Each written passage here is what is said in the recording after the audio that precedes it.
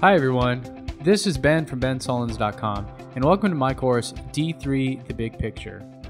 I've been a data geek for nearly 20 years now, working to extract meaning from heaps of data, and the best way I've found to do this is through engaging data visualizations.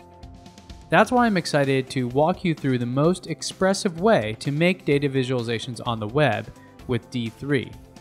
Now, D3 is an incredibly popular way to visualize data on the web that is being used by many web apps you currently use, as well as data journalists and data scientists.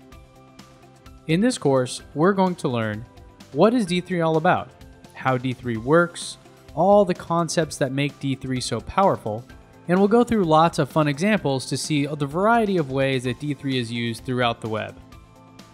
By the end of this course, you'll have a great understanding of what D3 is, why it's useful, and when you should use it. Now this is just a high level course, so we won't be writing any code here, but that doesn't mean you won't leave with a good technical understanding of the platform. I hope you'll join me on this journey to learn D3 the big picture with this course at Pluralsight.